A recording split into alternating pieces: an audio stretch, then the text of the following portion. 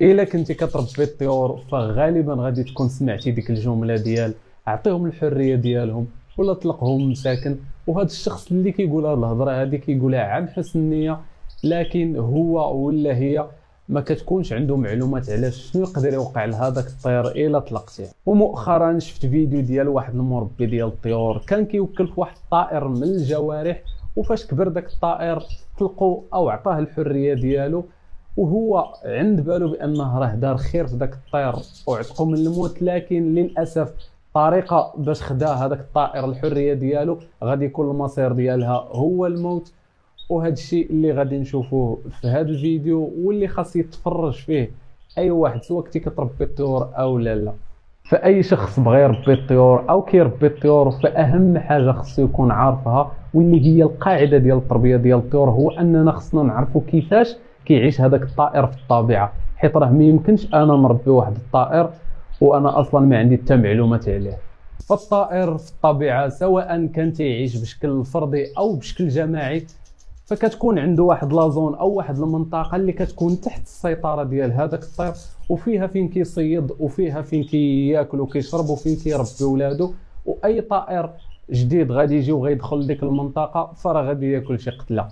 وفاش انت كتشد واحد الطائر اللي كنتي مربيه عندك في الدار وكتطلقو غير على الله كيخصو ضروري يقلب على واحد المنطقة اللي ما شادة حتى شي طير وخاصو يقلب فيها على الماء وعلى الماكلة. وهذا الشيء اللي كياخذ منه واحد الجهد ووقت اللي كبير بزاف وكيبقى هذاك الطائر تالف وكيدور وفي الآخر كيكون المصير ديالو هو الموت. وثاني حاجة واللي عندها ارتباط بالأولى وهي المسافة اللي كيطيرها الطائر اللي كنتي أنت شادو عندك سواء مدة طويلة ولا مدة قصيرة. وهذاك الطائر فاش كتشدو أنت وكتطلقو في الطبيعة فراه كيخاصو يطير واحد المسافة اللي طويلة باش أنه يقلب على البلاصة اللي غادي يجلس فيها. ويقلب على الماكلة وعلى الماء. وهذا الشيء هذا باش أنه يديرو كيتطلب منه واحد الجهد اللي طويل وكيتطلب منه يطير واحد المسافات اللي طويلة واللي هو أصلا في الأصل ما متعودش أنه يطير دوك المسافات الطوال وحتى هذا الطير هذا كيكون المسار ديالو غالبا هو الموت ونادرا ما كيسلك.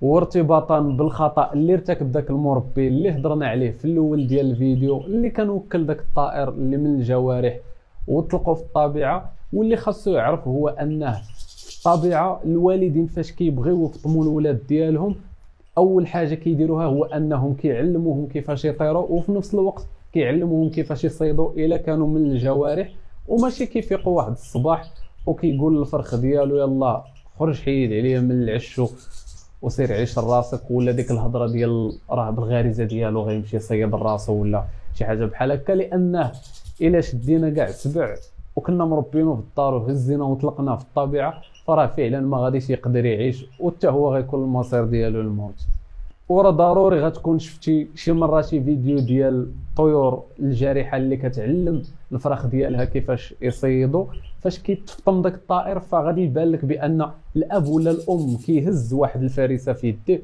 وفي رجليه عفوا وكيطلع حتى للسما وكيطلقها أو لا كيبقى شادها في رجليه وكيجي داك الولد ديالو وكي وكيشد ديك الفريسة وهاد الطريقة هذه هي باش كيعلموه يصيد عاد كيخليوه أنه يمشي يعيش الراس.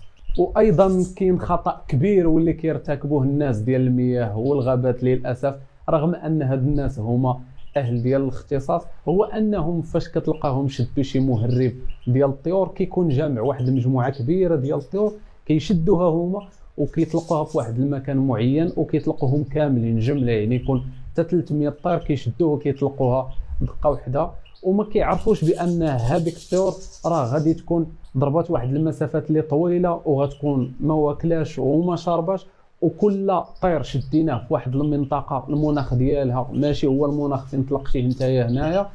وكاين واحد الاختلاف كبير ما بين المكان اللي كان فيه ذاك الطائر وفين غادي نشدوه غادي نطلقوه.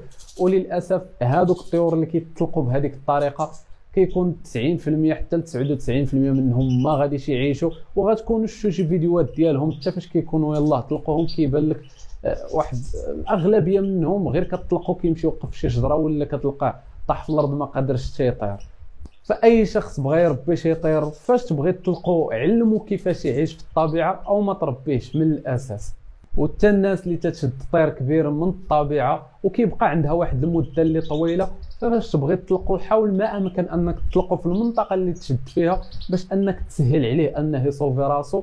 وإلا راه ديك الحرية اللي غتعطيه غيكون المصير ديالها هو الموت. وأنت اللي كتكون كتحمل المسؤولية في هذا الشيء والسلام عليكم.